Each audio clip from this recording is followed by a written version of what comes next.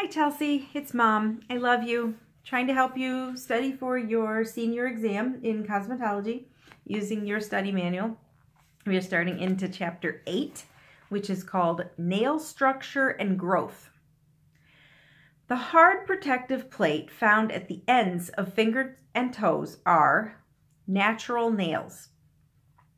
The area under a healthy nail plate should appear pinkish a main protein that is found in natural nails is keratin. Nails are an appendage of the skin and are part of what body system? Integumentary system. I'm sure I pronounced that wrong. Nails are appendages of the skin and are part of what body system? Integumentary system. A healthy nail is smooth, shiny, and translucent. The portion of the living skin on which the nail plate sits is called the nail bed. The nail bed is attached to the nail plate by a thin layer of tissue called the bed epithelium.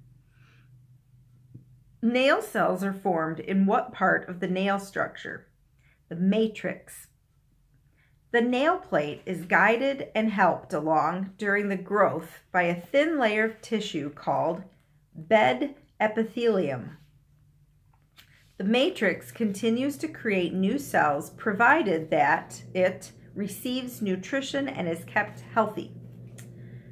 The visible part of the matrix that extends from underneath living skin is the lunula. The most visible and function part of the nail module is the nail plate.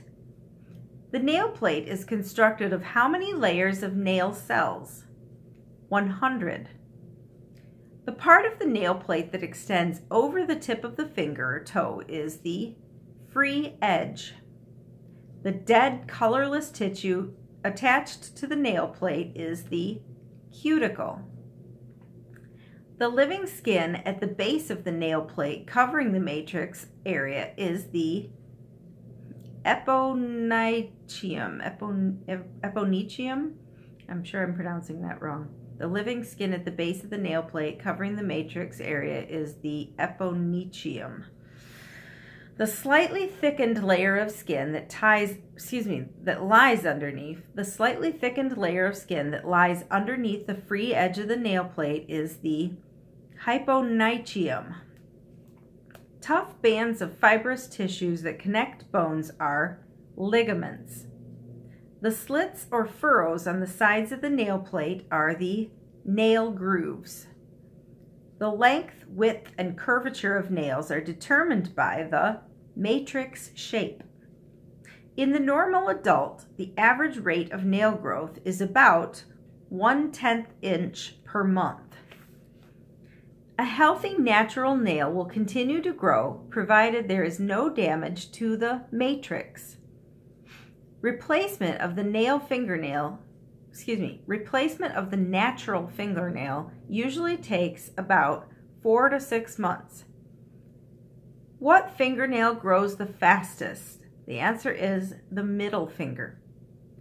The nail has a water content between 15 and 25 percent.